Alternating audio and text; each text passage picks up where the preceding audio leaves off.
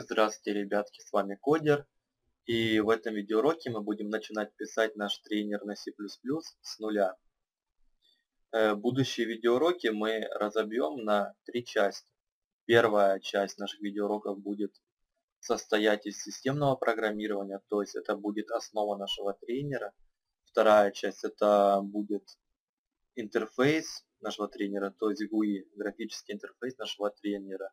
И последняя, третья завершающая часть, это будет взаимодействие между интерфейсом нашего тренера и его системной частью. Итак, начнем. Самое первое, что мы должны будем реализовать, это класс для работы с памятью игры. То есть он должен уметь читать память, писать в нее. И также в нем должны быть всякие фичи, допустим, выделить память или удалить память в процессе игры и так далее. То есть функционал нашего класса мы будем расширять по мере запроса наших новых возможностей, то есть по мере нужды. Итак, начнем. Открываем студию. Создадим новый проект, пока консольный. Потом мы, когда дойдем уже до GUI нашего тренера, мы переделаем его в обычный Win32. Пока что console, console application. Обзовем мы его, наверное, CPP трейнер.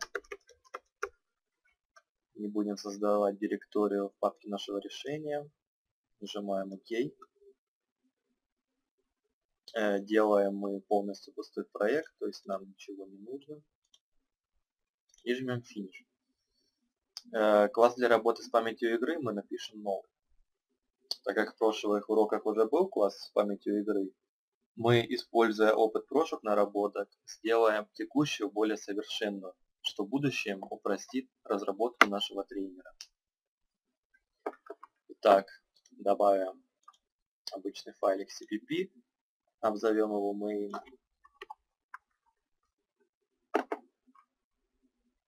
И теперь добавим класс в наш проект.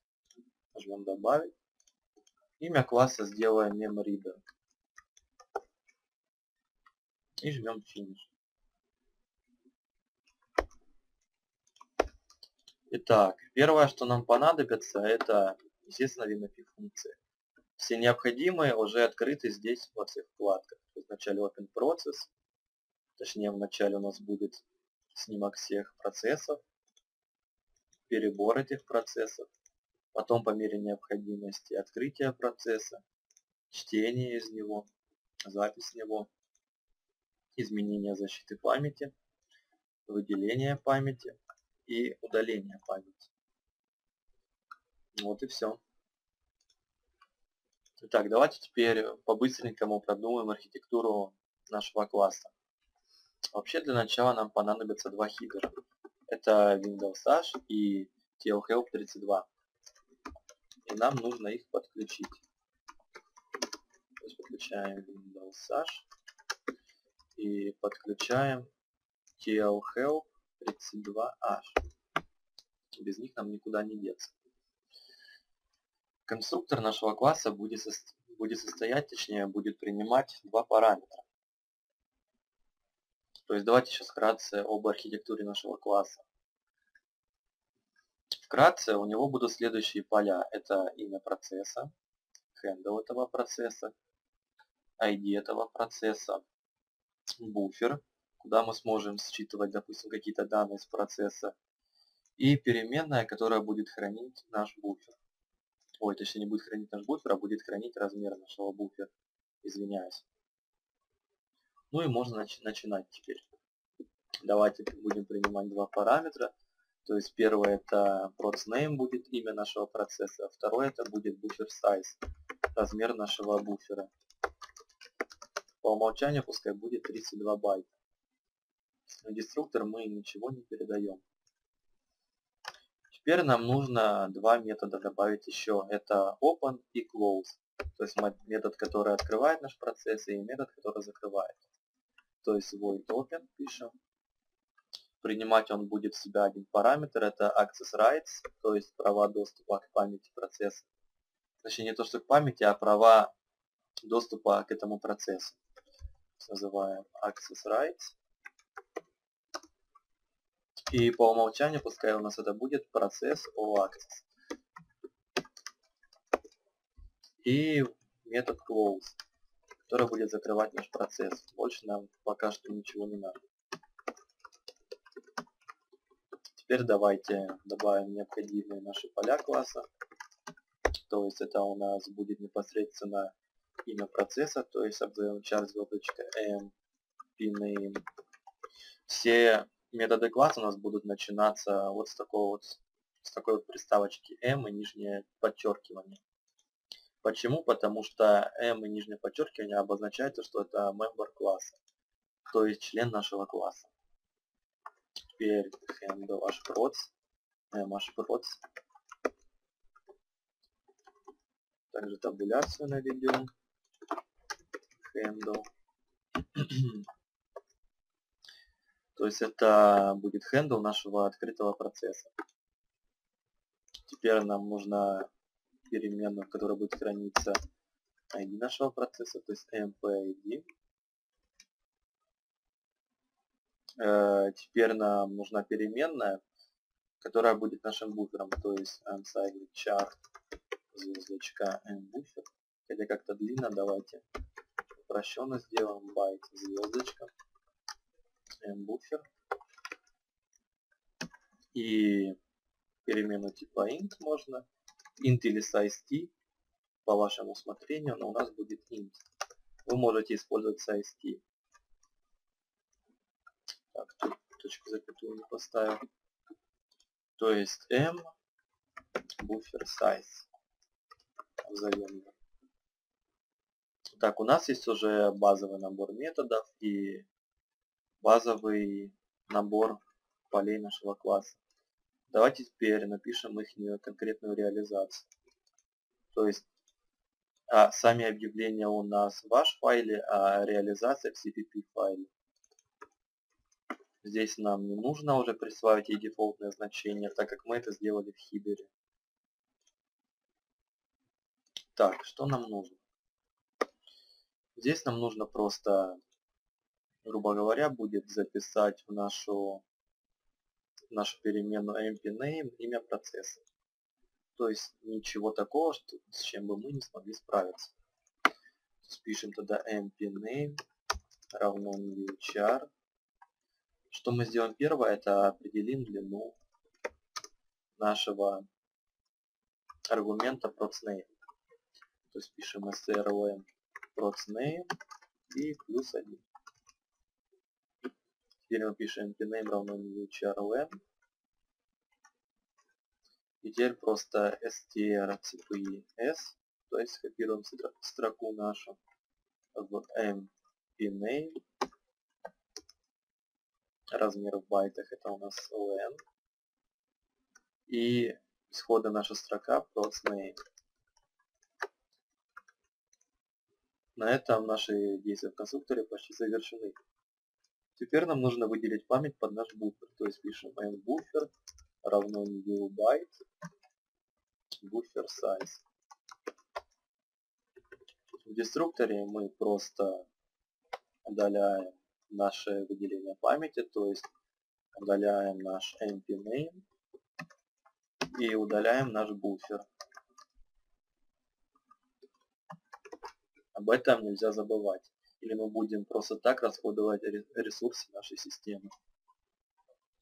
Так, конструктор и деструктор у нас готовы. Следующее, что мы делаем, это, собственно говоря, реализацию наших open и close. Для того, чтобы мы могли открыть наш процесс, нам необходимо получить его ID. То есть, что мы для этого будем делать? Нам нужно будет добавить метод нашего класса, который мог бы разыскивать наш процесс и получать его ID. Э, давайте сделаем нашу функцию в private, так как наш класс будет полностью инкапсулирован, поэтому мы не должны ничего выносить во внешнюю часть, так сказать, во внешний мир. Поэтому пишем void get PID. Это наша private функция. Ее мы не будем вызывать, э, из нашей основной программы.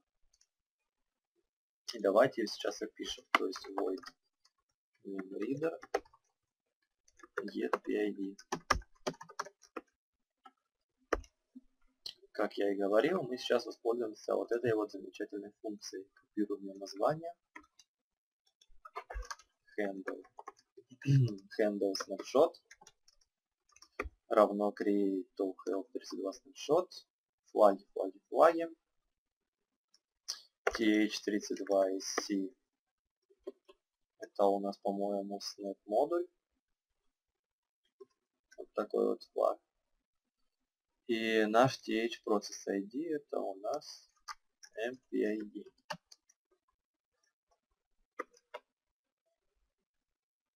Ох, стоп. Что я пишу? Ересь какую-то написал, извиняюсь. Это для получения информации нашего модуля. Но мы до модуля еще не, не дошли. Здесь у нас просто th32sc и snap process. А PID у нас 0. Так, дальше мы создаем структуру process entry, process entry 32. То есть это в ней, так сказать, будут храниться записи о нашем процессе. То есть обзовем ее pinfo. Укажем размер этой структуры, то есть pinfo. Точка, как там у нее назывался этот параметр, dvsize, по-моему, да, dvsize равно size of process enter 32. Вот так вот это делается. Теперь, если мы в состоянии перечислять наши процессы, то есть if process 32 first, передаем наш снапшот и ссылку на нашу структуру pinfo. То есть, если эта функция вернет нам истину, то мы можем перебирать наши процессы. То есть все мы сделали правильно и все работать должно отлично. Теперь while process 32 next. То есть пока есть какой-то следующий процесс, мы продолжаем перебор. Снапшот и ссылка на наш p-info. Теперь мы будем сравнивать имя нашего процесса с тем, которое мы указали в конструкторе, то есть с тем, которое мы передали в конструктор, то есть if stri cmp это независимый будет поиск от регистра. Это будет защищать от ошибок, то есть не важно в каком регистре мы укажем его процесса, он у нас найдет его. Конечно, вы можете просто strcmp использовать, но для большей совместимости я буду именно SR, SRI CMP использовать. От SR CMP тоже как бы, ничего плохого не произойдет. Теперь мы сравниваем наше имя процесса mpname с pinfo as exe exe file. То есть это имя нашего процесса. И если нам значение вернется как 0, что это написал, то есть если нам вернется 0, то строки совпадают.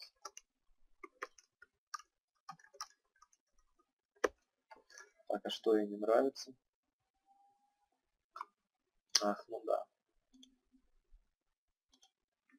Кодировочку мы изменим на мультибайтовую. Вот так-то лучше. Теперь мы можем присваивать нашему ID процесса соответствующее значение, то есть pinfo и th32 process ID. Это то, что мы искали. Теперь мы закрываем handle нашего снимка процесса, то есть close handle snapshot. И возвращаемся из функции, так как в дальнейшем перебирать процессы более не имеет смысла. Ну, как-то так. Если же мы ничего не нашли, мы все равно закрываем handle и возвращаемся с функции. Перед этим, положив наш npid 0, как-то так. Теперь мы можем приступить, собственно говоря, к реализации метода open. То есть поиск нашего процесса мы сделали, а теперь пора бы его и открывать научиться. То есть void memreader open. У нас double word access rights здесь.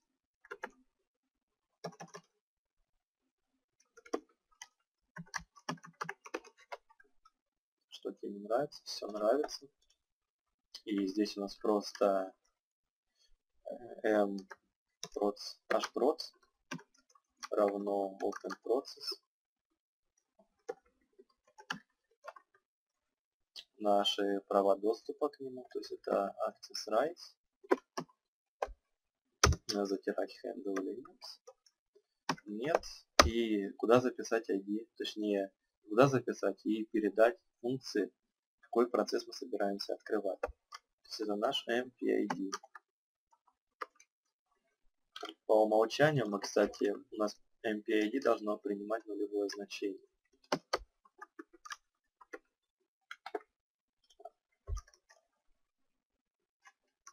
То есть мы здесь пишем MPID равно getPID. То есть вызываем нашу private функцию. Ой. Мы просто вызываем getPID. Что это я? Совсем здорово. Мы же в этой функции записываем его.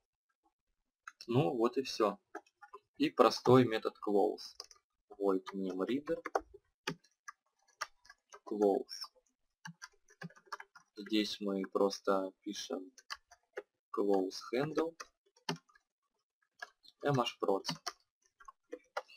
Теперь можно проверить, как это дело наше будет работать. Подключаем IOStream. Объявляем нашу точку входа. Void main. System Pulse вызовем, чтобы у нас программа сама не завершалась. И подключим наш memreader. Наш memreader. Ой, не так подключаю. Так, теперь мы создаем экземпляр нашего класса memreader. То есть наш memreader mem допустим, равен new memreader. Имя процесса пускай у нас будет notepad.exe. Размер буфера оставляем таким. И мем.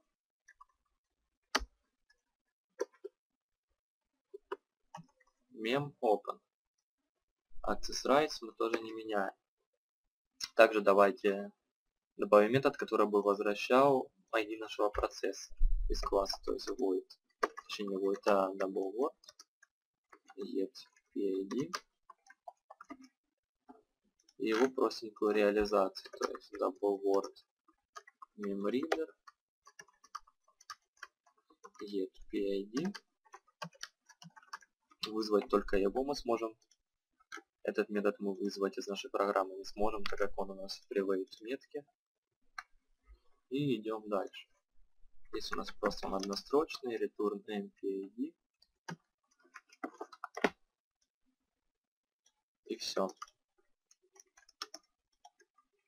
Благодаря этому методу мы сможем проверить работоспособность нашего класса. Так, пишем PID. Выведем в хекс его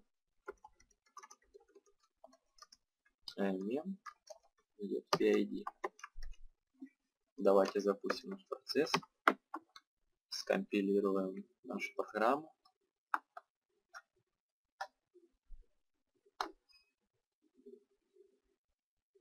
Э, Все, успешно скомпилировать, запускаем. Вот, пожалуйста, PID и F8. Еще раз проверяем. Да, построить. Ну, пожалуйста, все вывелось правильно. Итак, первая часть нашего урока об этом завершается. В следующей части урока мы будем уже работать с памятью процесса. На этом все. Всем удачи в геймхакинге. Пока.